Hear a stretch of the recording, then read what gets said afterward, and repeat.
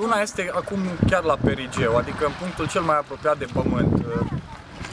Luna orbitează în jurul Pământului într-o orbită eliptică, deci nu e în tocmai cerc, seamănă mai degrabă cu,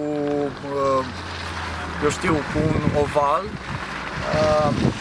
Media sau distanța medie a Lunii față de Pământ este de 384.000 de kilometri.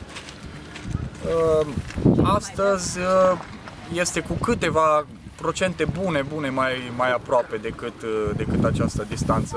Luna uh, de astăzi uh, va fi cu 14% mai mare decât o vedem noi de obicei și uh, chiar și cu 30% mai, mai luminoasă decât de obicei.